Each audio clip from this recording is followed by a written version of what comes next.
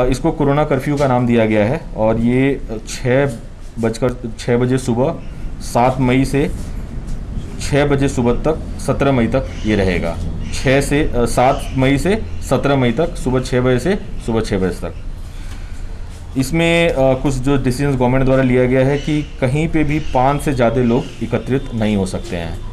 अगर ऐसी स्थिति होती है तो उनके खिलाफ जो भी कार्रवाई है वो अमल में लाई जाएगी।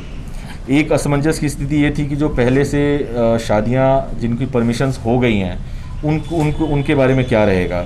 मैं बताना चाहता हूँ कि जो शादियाँ पहले से ही हमारे पास से परमिशंस दी गई हैं 20 लोगों की जो परमिशंस दी गई हैं, वो यथा एज इट इज़ रहेगा। और लोग अपनी जो शादियाँ हैं जो उनका डेट डिसाइडेड है, वहाँ पर 20 लोगों के साथ कर सकते हैं। इसके अलावा जो गवर्नमेंट और प्राइवेट ऑफ़िस हैं इस्टेब्लिशमेंट्स हैं कुछ एक्सेप्शंस रखे गए हैं, वो मैं अभी बाद में बता दूँगा।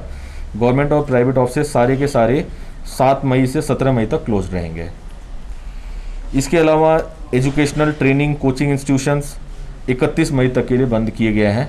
तो ये क्लैरिटी आप आप लोगों को, आप लोगों के माध्यम से लोगों के बीच में भी होनी चाहिए। इसके अलावा cinema halls malls market complexes बाज़ार gymnasium sport complexes swimming pools entertainment park theatre auditorium assembly halls ये सारे बंद कर दिए गए हैं। कुछ एक्सेप्शन रखा गया जो मैं बाद में आपको बताऊँगा। लिकर शॉप वेंट्स अहाता बार ये क्लोज कर दिए गए हैं सात मई से लेकर सत्रह मई तक के लिए। भी हेल्थ इंस्टीट्यूशंस हैं, चाहे प्राइवेट हो गवर्नमेंट के हों, वो खुले रहेंगे और इनमें जो लोग कार्यरत हैं, अपना काम, कार्य जो है, सुचारू रूप से कर सकते हैं।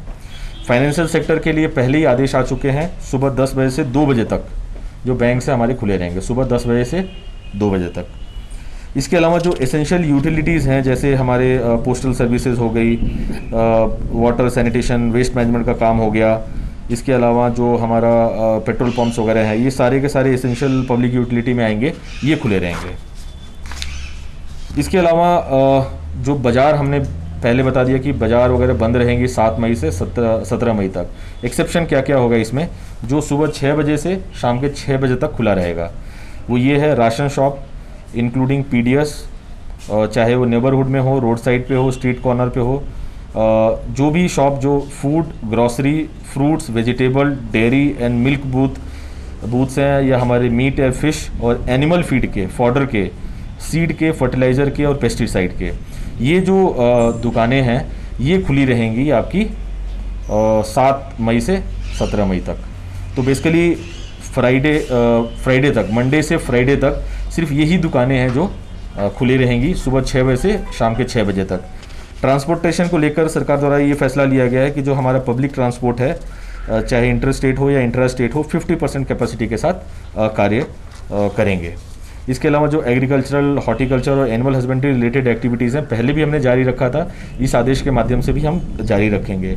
इंडस्ट्रीज़ को जो एसेंशियल इंडस्ट्रीज़ थी, हमारी जो चल रही थी, पहले भी हमने जारी रखा था, अभी भी ये जारी रहेंगे। इंटर स्टेट मूवमेंट के लिए जो पिछला हमने ऑर्डर निकाला था, वो एज इट इज़ चलेगा। उसमें दो तीन हमने कंडीशंस लगाई थी जो सरकार द्वारा हमें निर्देशित किया गया था पहला कि जो लोग डायरेक्टली आना चाहते हैं, अगर उनके अंदर, उनके पास बहत्तर घंटे का आरटीपीसी है तो डायरेक्ट एंट्री कर लेंगे। अगर नहीं है तो आने के बाद वो सात दिन के लिए होम क्वारंटीन होंगे और उसके बाद उन्हें टेस्ट करवाना पड़ेगा। और अगर कोई बीस दिन पहले पॉजिटिव हुआ है, या फिर उसने दोनों वैक्सीनेशन के डोज कंप्लीट कर लिए हैं तो वो एंट्री उसी हिसाब से स्मूथली कर सकता है। लेकिन सबको अगेन वही जो ई पास का सिस्टम था पुराना, वही ई पास के सिस्टम को बरकरार रखा गया है।